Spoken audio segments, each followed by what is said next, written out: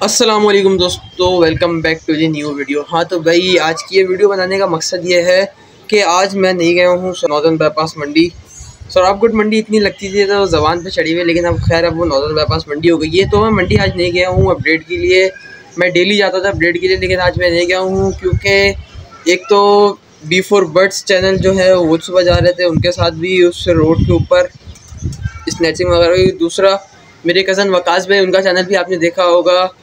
वकास जकी blogs के अंदर, वो भी आज सुबह अपडेट के लिए जा रहे थे तो उनको भी दो अननोन पर्सन उनके पीछे महसूस हुए कि वो उनका पीछा कर रहे लेकिन वो खैर आगे पेट्रोल पंप पड़ता है तो वो वहाँ पर रुक गए थे। बाइकों का जो पेट्रोल पंप है, वो वहीं पर ही उन्होंने वेट किया थोड़ा तो वो मुझे, उन्होंने मुझे कॉल करके कहा कि, बेटा, आज तुम नहीं जाना, ज़रा तो एक दो दिन के अंदर हालात थोड़े से बेहतर हो जाए, इधर सिक्योरिटी पर्पस आ जाए, ज़रा सिक्योरिटी इधर अच्छी हो जाए सिक्योरिटी तो फिर तुम इधर जाके अपडेट बनाना।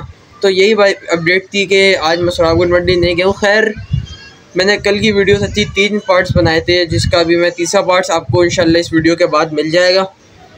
बाकी मैंने आज सुरजानी टाउन भैंस कॉलोनी कवर की है उसका व्लॉग भी अभी रात तक किया इंशाल्लाह कल सुबह मैं अपलोड कर दूँगा। हाँ तो भाई और एक और बात इस सीज़न में जो मैं सीज़न कवर कर रहा हूँ तो इसमें मेरा टारगेट है कि मुझे 2000 सब्सक्राइबर अचीव करना है।